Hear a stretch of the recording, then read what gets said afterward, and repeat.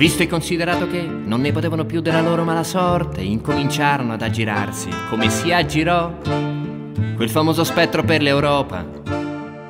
La rivoluzione c'è stata qui, cioè in alcune zone geografiche il concetto di rivoluzione ha più senso. E quindi ecco, tu scendi, prendi un autobus, prendi un mezzo di trasporto, una macchina, ti avvii verso queste regioni e ti accorgi che una rivoluzione c'è stata, ovvero c'è una geografia della rivoluzione. Tra cinque minuti comincia la rivoluzione. Tra cinque minuti comincia la rivoluzione. Tra cinque minuti comincia la rivoluzione. Tra cinque minuti comincia la rivoluzione. Tra cinque minuti comincia la rivoluzione si è arrivato a un punto di mobilitazione per cui se non cadeva il regime questi andavano a fine tutti in galera e il regime si sarebbe vendicato nei loro confronti. Per cui la gente, ragazzi che erano usciti per le strade, avevano accettato lo scontro con la polizia, a un certo punto si disperdono nelle, nelle campagne e vanno nelle città costiere per farle sollevare. Avant, il y a 300 martyrs en Tunisie. Il y a des gens, il y a des enfants, il y a des filles. Donc, c'est pas du jasmin, c'est la révolution de sang, comme, toute, révolution.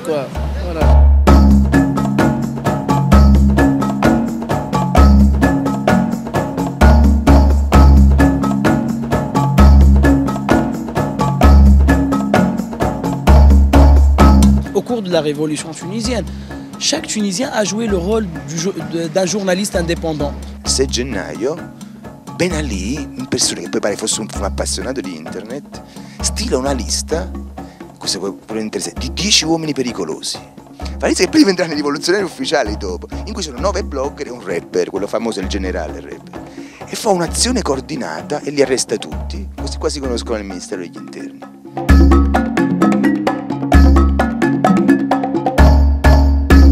Révolution a été euh, pratiquement euh, déclenchée par le Facebook, par Internet et Facebook. Mais malheureusement, il y a quand même des, euh, gens ou des, qui sont les, qu'on appelle les contre-révolutions, qui ont massacré l'image de la femme tunisienne. Et pourtant, la femme tunisienne a bien participé à la révolution. Quels médias on a besoin?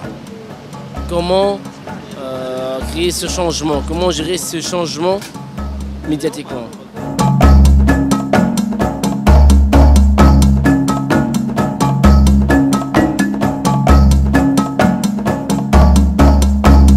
Commissione elettorale con noi ha sistemato i seggi alle 6 del mattino, alle 7 del mattino si sono aperti i cancelli e fuori dai cancelli una fila composta e già molto molto lunga. La Tunisia ha voglia di riprendersi in mano la sua storia, stanno votando davvero in tanti, già il 20% degli aventi diritto nelle prime ore del mattino e stanno votando tutti, uomini e donne, le età più diverse e anche le estrazioni sociali e culturali, lo si capisce dagli abiti, ci sono donne velate, donne che vestono l'occidentali, anziane donne che arrivano con i vestiti tradizionali, tutti hanno in comune il dito blu che vuol dire che hanno votato e la speranza per questa democrazia. On a commencé un nouveau chemin de la démocratie. Peut-être que c'est le premier chemin de la démocratie dans l'histoire de la Tunisie. Tra cinque minuti comincia la rivoluzione. Tra cinque minuti comincia la rivoluzione. Tra cinque minuti comincia la rivoluzione. Tra cinque minuti comincia la rivoluzione. Tra cinque minuti comincia la rivoluzione.